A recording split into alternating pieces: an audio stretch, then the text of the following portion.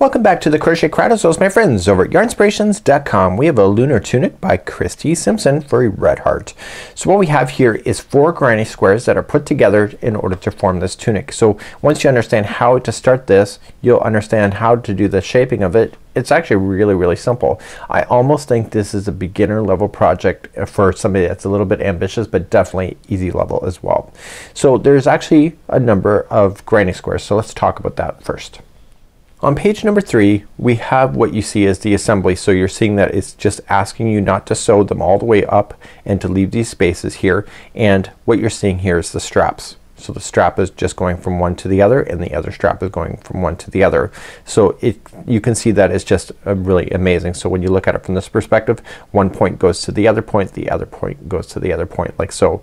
So because this ball transitions in color they decided to and you use two balls pretty much. I used the same ball coloring. So for example I used two of these okay so you can see that I did that and so the coloring of it actually matches. So I did the first square with the ball and then I did the second square with the same ball. I then grabbed the second ball did the first square and the second. So I appear to have exactly what you see here. So you see that there's two blues and, and etc. So when she's from the back here you can see that it looks like this color here and when you see it from the front it looks like that. So if this bothers you a little bit just use a solid color yarn but I think it's actually really quite effective as well. So all it is is for these. So you're gonna see a lot of writing in the instructions. So let me break that down for you because there's really not that much to do. So in the tutorial when I get you started we need to make four of these squares and you're gonna see a lot of writing. It's actually really quite simple. I'm gonna take you through it. So you'll see that there's two pages like this and you're like wow it's a lot of instructions but it really is not. So what they've done is they, they've outlined the instructions for every row but once you understand how it's growing out it's really really quite simple. The difference that you see round number 13 is the small, medium and etc. So you finish off on the round that it's gonna suggest. So my particular sample is done in the medium size so you can see that the medium is fastening off after round 14. So all I'm doing is that once I get started on one of these squares it's just I know how many uh, rounds to do based on the count that it's telling you to do. So round number 14 told me to get rid of that's when the ending of the medium is. So there's more instructions the larger that it is. So if you want to make this even larger this only goes to two extra large. You just gotta keep making your granny squares even bigger in order to be able to match that out. We're then going to do the assembly where we're going to then just attach it and we're gonna whip stitch it together. So what I decided to do for myself is that because the ball transitions if for example you're using this color and this is where you're ending if you keep using the ball it eventually transition to a different color completely. So at the end of each one of these ones I just rolled exactly the same color that was in the very last round and so this will be my sewing strands and I did this for all four of the bells. That doesn't mean you need to use all four but now you have choices that match this. As long as the same color matches at least one side of the join it will work together. It's when you have the color that is joining them completely different that's when you'll notice it. So that's uh, something that you can keep an eye on. So the inside of the granny square let's talk a little bit about that because it's slightly different than what you may be used to. So when we look at the interior of this you're going to notice a few things that is gonna throw you off. If you're a regular crocheter you're gonna notice this will throw you off. And what it is is that at the very start here you have chain fours for your corner corners that's normally chain two so the corners are a lot much wider in order for you to do that. You're also going to start doing this mesh work and the mesh work uses the first grouping of four so there's not only just four chains but there's four double crochet chain four four double crochet in each of these corners. That's kind of unusual. When you do the mesh work you're gonna notice that the first stitch out is going to be a double crochet into the last double crochet of this and then it starts jumping over. So once you can start seeing the jumping, the jumping is in the same spot each and every time. So it's really not that hard to do. The difference is you just gotta put in the time. And when you use different colors here in the ball is that you'll see that it will turn out really quite differently. So it's really neat. So it transitions from a, a, more of a white into this darker blue and of course as I mentioned already I kept the yarn that matches the outside of this so that it will match completely as well. So let's uh, go on and let me show you how to do this. You're gonna need a 5 millimeter size H crochet hook. We're using It's a Wrap Rainbow today as our choice. If you want to switch out the yarns that's completely up to you but I think it's really quite effective. I am also then gonna demonstrate how to whip stitch these together. Uh, just to, for clarity I actually have got everything already crocheted so I'm just gonna show you how to get started and you can stop on the round that it's suggesting for the size that you're looking to do. let's begin and we're gonna create a slip knot to begin and put a five millimeter size H crochet hook in there. So the yarn is a lot thinner than the hook require, uh, is required because it wants to be lacy. So usually the size of um, yarn would be a lot thinner because this is a level two yarn. You're gonna chain four so one, two, three, and four and insert your hook into the beginning chain. So just going right in and just yarning over and pulling it through everything on the hook. And that will form the very center ring of your project. So it's gonna be a little bit tight. You'll get used to it and we will then start. So just pull things open so you can see the start and then we're gonna begin round number one. So usually in granny squares when we start we chain three. So let's do that. So one, two, three, and we only put two double crochets into the ring. This case is not. There's gonna be four uh, double crochets in each of these corners that we're gonna be doing. So you have to add three double crochet into the center of that ring. Once you get the center of the ring started it's just easier to hold it. So just take your time and get the center and let's just count. So the very first chain of three plus this one now equals two. And so the goal is is to get a total of four. So just do the next two. So I always try to teach you like the chain threes and etc. always count as a stitch when they do. So you should see a total of four. Now you're gonna turn a corner and the corners for this entire project are going to be chaining of four. So one, two, three, and four. And it seems extreme but that's what's making it lacy. So inside the center of the ring keep the straggler down inside so that you can keep it buried underneath and put in four double crochet and you want to do this for every side so there will be a total of four sides that you will be able to see.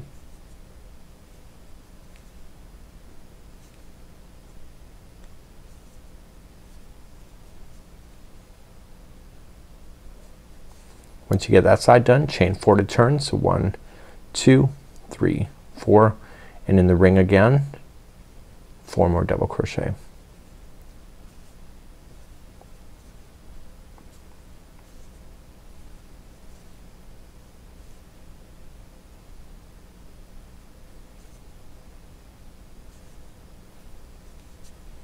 This yarn takes a little bit of getting used to because it applies but once you get to understand it, it's pretty cool. So chain four to turn again. So one, two, three, four. Let's do our last side. So then another four double crochet in there. So we have one, two, three, and four. Now we're not quite done. We have to finish the last corner. You see it's still missing. So chain four. So one, two, three, and four and slip stitch to the top of the chain three to finish.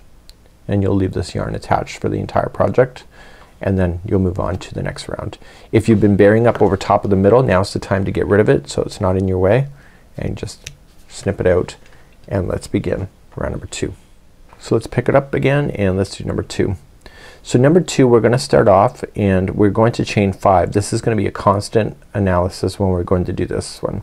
So let's just chain five. So the first three one, two, three is considered a double crochet and the four five is considered a chain two space. If you can remember that you're laughing.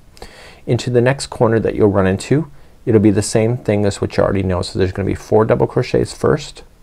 So one, two, three, and four. And you need to turn the corner so you have to chain four. One, two, three, four. And coming into the same one again and put in four double crochet. So one, two, three, and four. Now in between everything you're gonna notice there's chain two. So chain two and in this case the corner is next. So we're gonna do another corner just like you saw. So four double crochets. So let's begin that.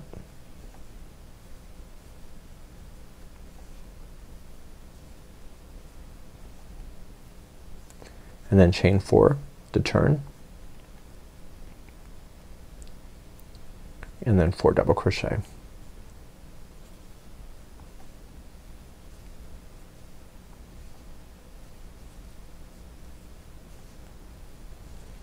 And now to jump you're gonna chain two. So the chain two is gonna be a constant. You'll see that in the future.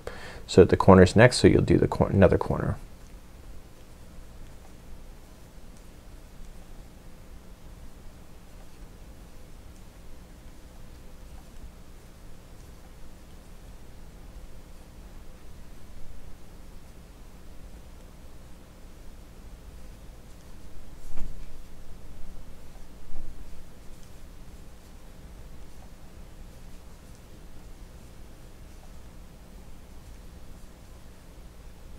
Chain two to jump and then you're gonna come into the last one.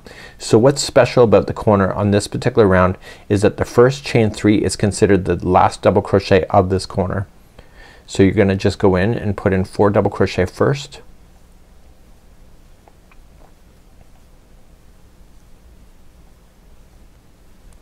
And then chain four to turn and instead of putting four double crochet in the last one here you're only gonna put three because that's considered the last one. So in the last one you'll put in three double crochet.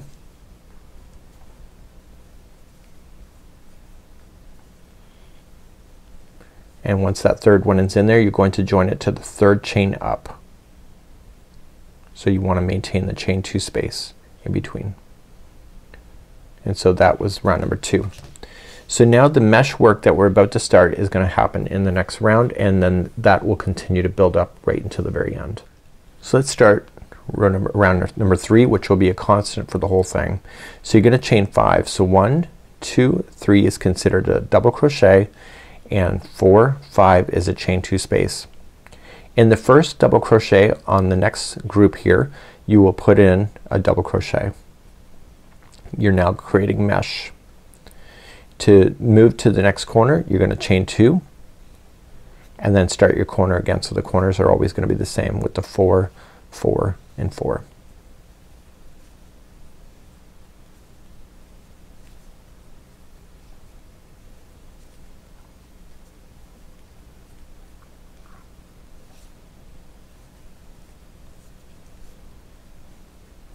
The trick to this whole thing is after you come out of the corner on what you're gonna do.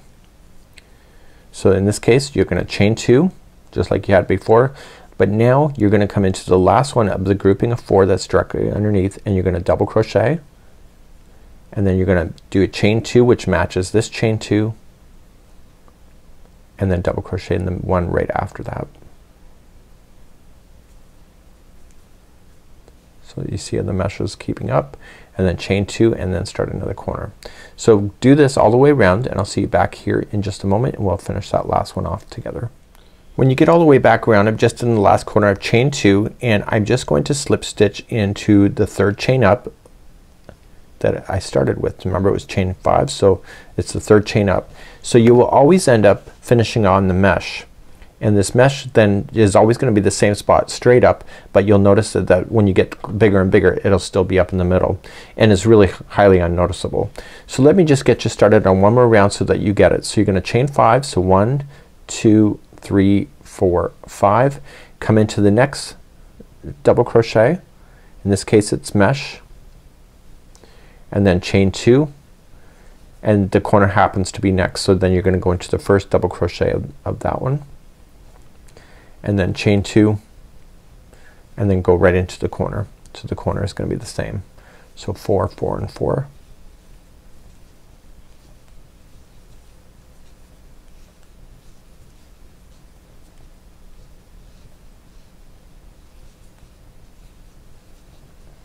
So because this is very meshy, it really honestly does not take a long time to do this top.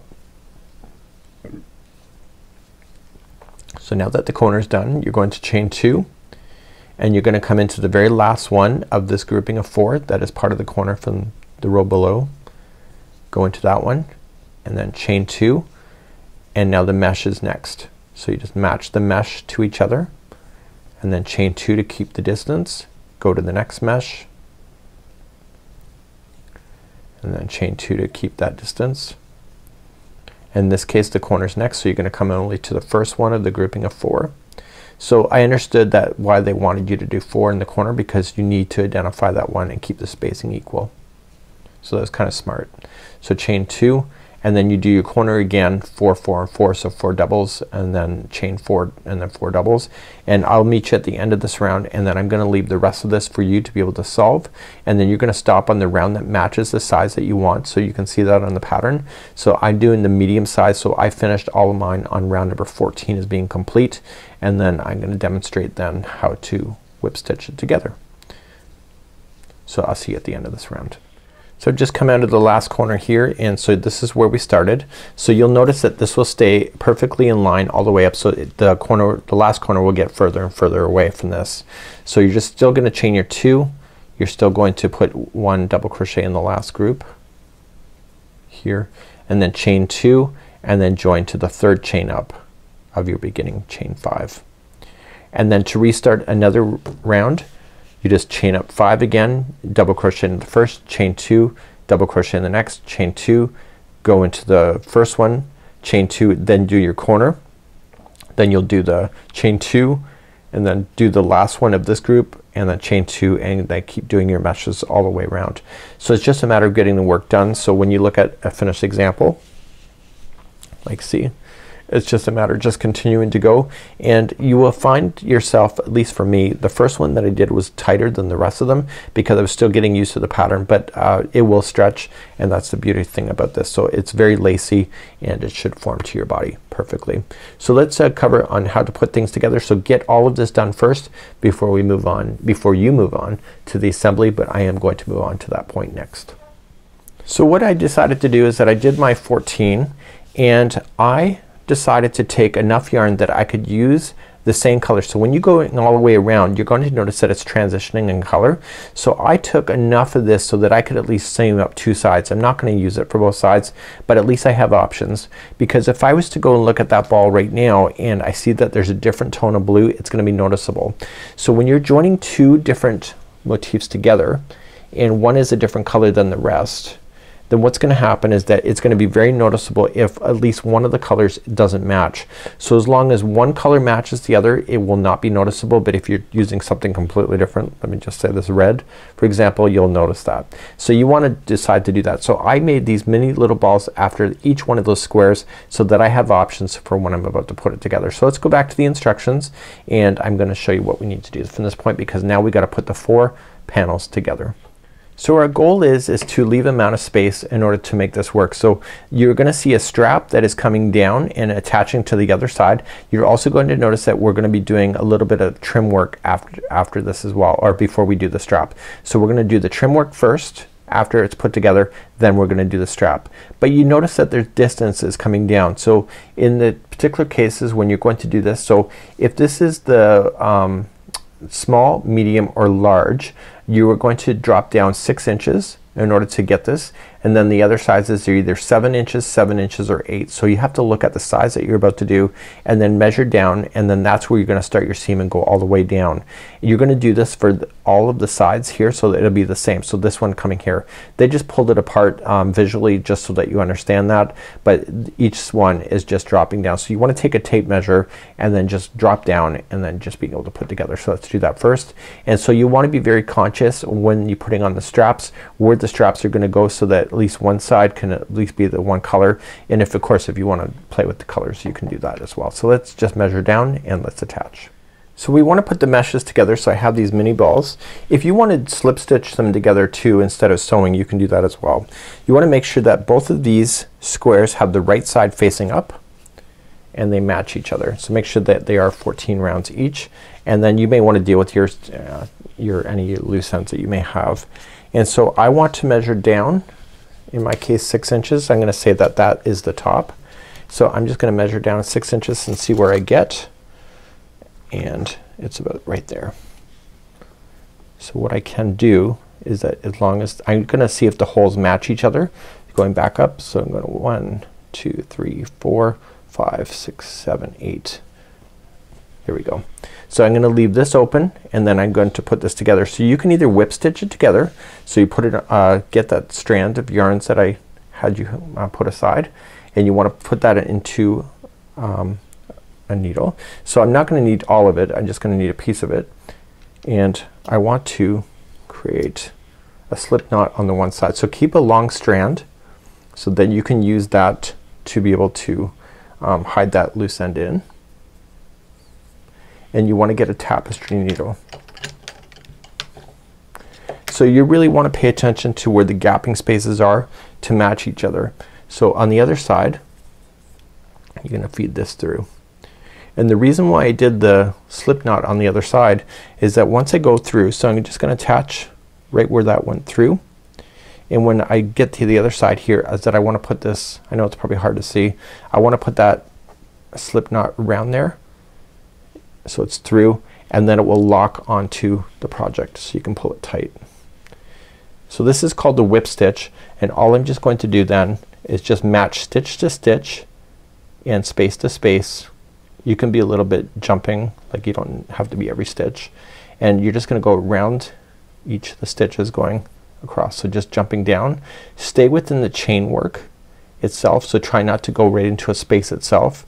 Stay right into the chain and just match it and you need to do this for all of them. So these two are now coming together. So these two then will attach to the next two that will be up top here and that'll probably be the back or the front depending on what you what you want to do with this particular idea.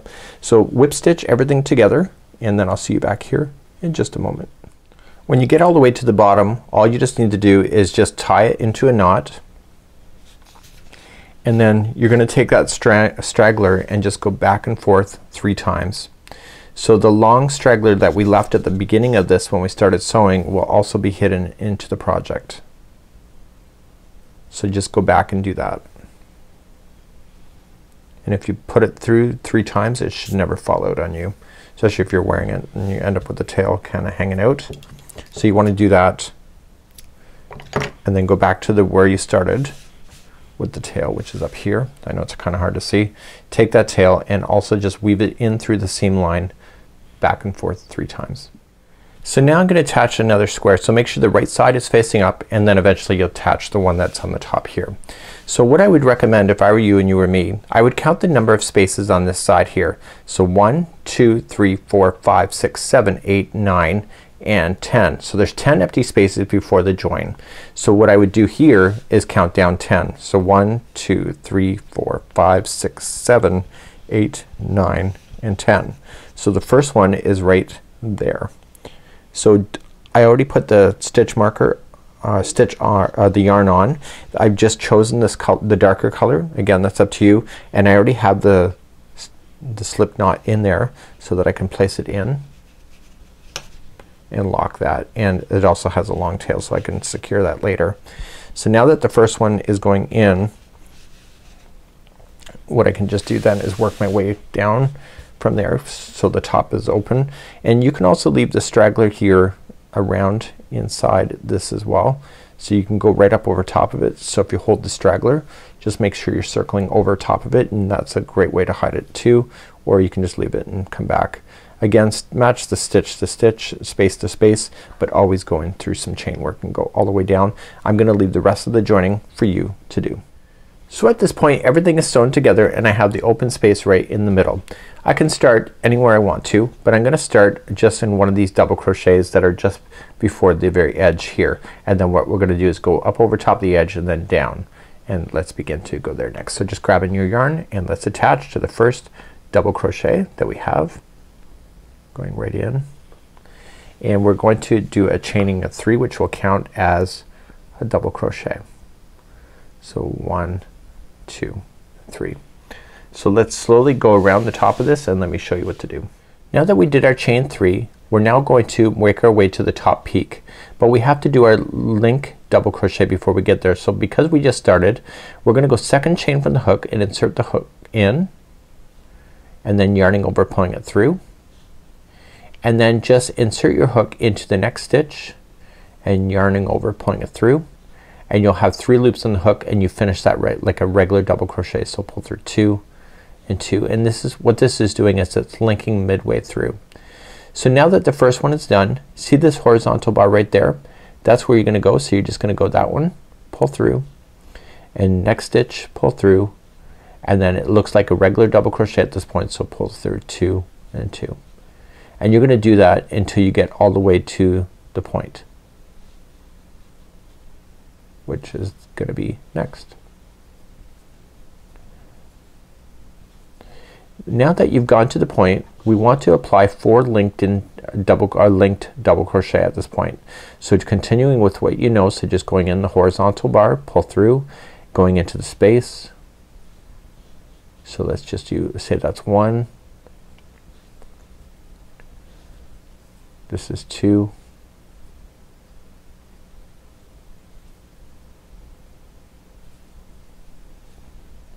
Three.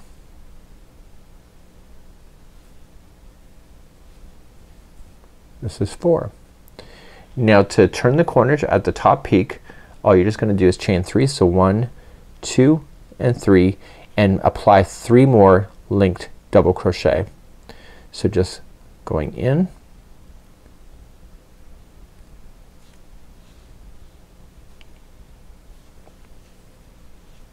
So one,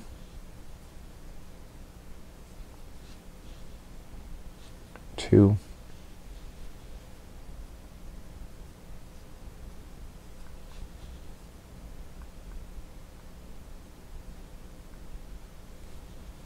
and three. It's a little bit of a fiddly stitch uh, especially with such thin yarn but of course if you want to do something different you can always do that. So now we're gonna start working our way down and then we'll end up in between and then coming back up. So here's what we're going to do. So now that we've gone through the peak we're going to apply one linked in double crochet for each stitch that goes.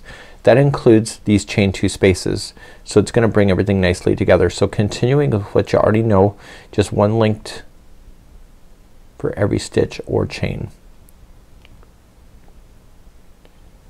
Now in the chain two if you don't want to go into the actual chain itself you could probably go into the space. You'll have to determine what you think works for you. And then what I'll be doing is that I'll do that and I'll come back at the at the bottom of this section where it's going to join back up here. So I'm coming close to the very bottom here where it joins and then I'm gonna have you heading back up and what you already know at the top remember that it was four links and then you had uh, chain uh, three and then three links in order to do the, these um, top peaks. At the base here I'm just continuing to do my link double crochet. It does get faster. It's just a matter of getting used to the stitch. It's kind of unusual. I love this stitch to be honest with you. Um, I've used it in other ways and uh, I've been very pleased with that on how it links and makes everything nice and tight. So for this clothing it actually makes a lot of sense. So right at the top of the seam is where we're gonna be heading next. I just have one more space to do. So let's link it first.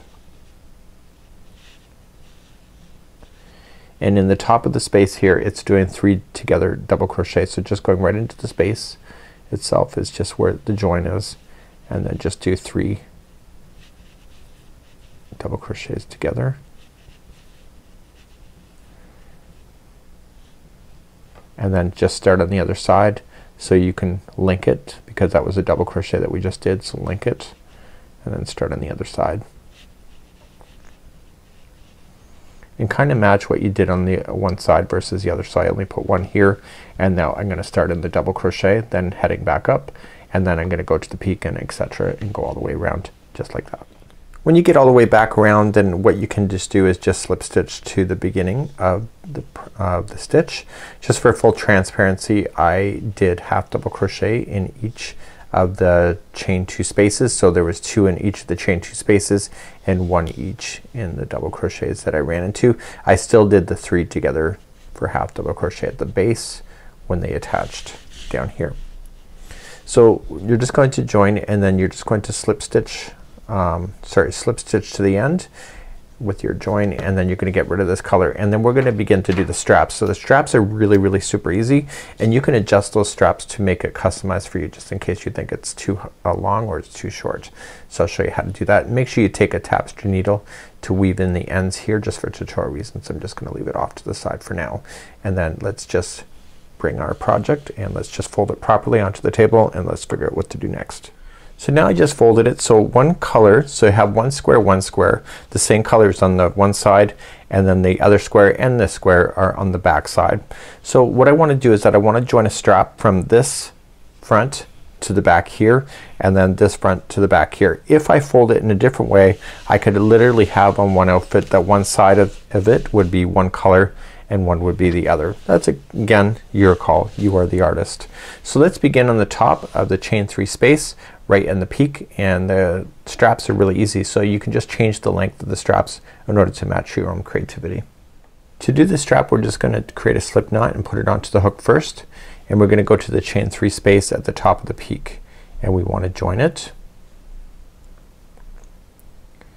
and then we want to chain two. So one and two which will count as a stitch and then three half double crochets into the same one.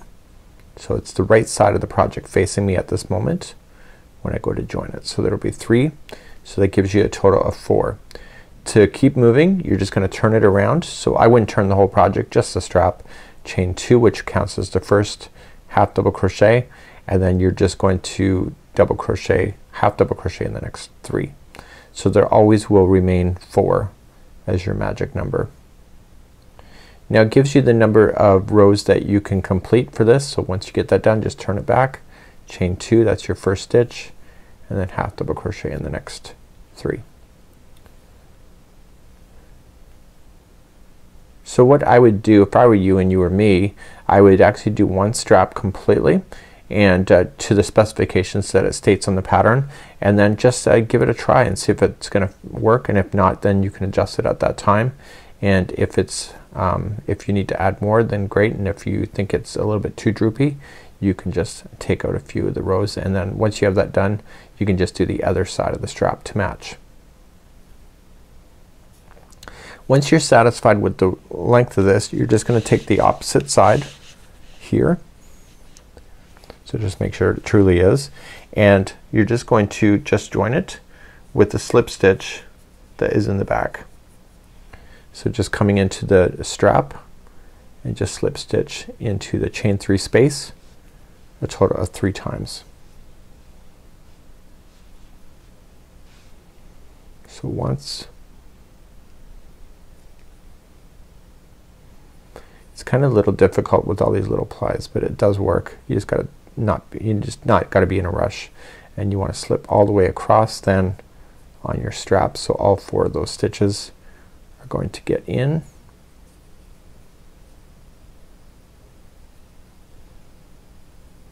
and keep working like that. Then once you have that uh, completely attached, so obviously it'll be a lot longer than this, but once you get that done just cut that yarn and just weave in your ends and then you'll be good to go. So then both of your straps will be done in the same manner and uh, you'll see that it's gonna hold pretty good and I think it's pretty awesome. So this is how you would do that if I were you and you were me. Um, the half double crochet around the edge I thought it was a little bit easier than D-link but of course follow that uh, diagram or follow the instructions if you feel you want to match it stitch to stitch and of course uh, you can always change things. If you would like to add a little bit of a border to the base of this you'll have enough yarn to do that. You can just trace it around on the base and overall it's actually a pretty easy pattern to be able to do. So until next time it's Mikey on behalf of the Crochet Crowd as well as my friends over at yarnspirations.com. Please enjoy and we hope to see you again real soon.